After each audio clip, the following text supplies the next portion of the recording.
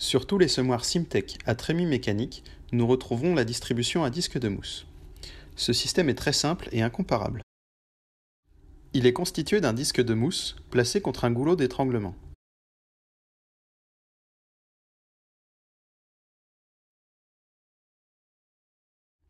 Les semences sont entraînées au fond de ce dernier par la rotation de la mousse.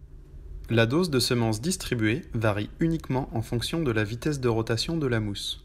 Celle-ci est entraînée par un axe relié lui-même à un variateur. Il n'y a donc pas de réglage d'ouverture et la tension du ressort plaquant la mousse contre le goulot est constante. La mousse étant malléable, elle s'adapte d'elle-même aux différentes tailles et formes des semences, en pur ou en mélange.